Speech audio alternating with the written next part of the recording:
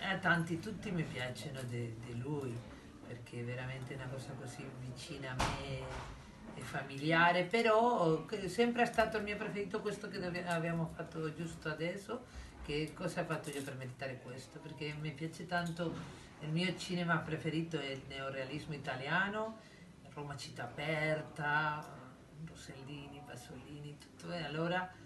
Eh, questo film insomiglia molto a, quello, a quella realtà della gente vera. Questo mi piace molto, la realtà di questa signora che, che ha questa vita di miseria.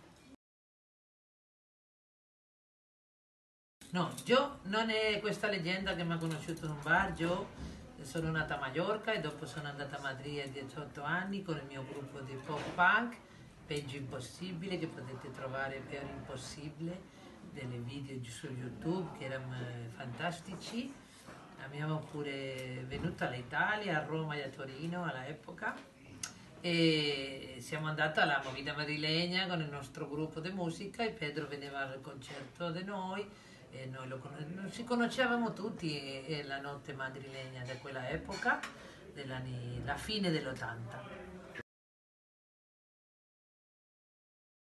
Io ho fatto tantissime cose, pure Francia, Italia, eh, pure America un po'.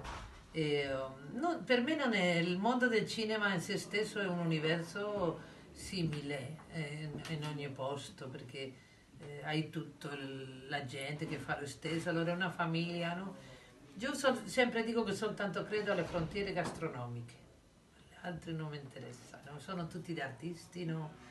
Eh, quando sono in Italia sono italiana, quando sono in Francia sono francese, e quando sono in Spagna spagnola, e quando sono in Africa africana. E che tutte le frontiere gastronomiche, questo che è bello, che di un piccolo paese a un altro hanno cambiato la maniera di cucinare, è tutto buono, è tutto, sono delle frontiere a celebrare, non come la geopolitica che